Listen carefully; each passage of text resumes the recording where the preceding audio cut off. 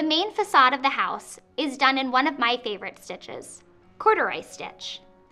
This stitch is going to be done using one strand of pepper pot silk, number 062, brown sugar. Begin by centering the stitch above the front door with a single vertical row of reverse tent stitches. When you are ready to do your second row, the pattern will change to satin stitches, spanning over three intersections. These satin stitches will slant from lower left to upper right. Alternate in this way until you have covered the remainder of the brown area.